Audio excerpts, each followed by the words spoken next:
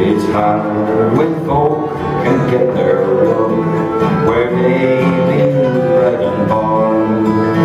When I was young, I used to think I'd live in villages a all.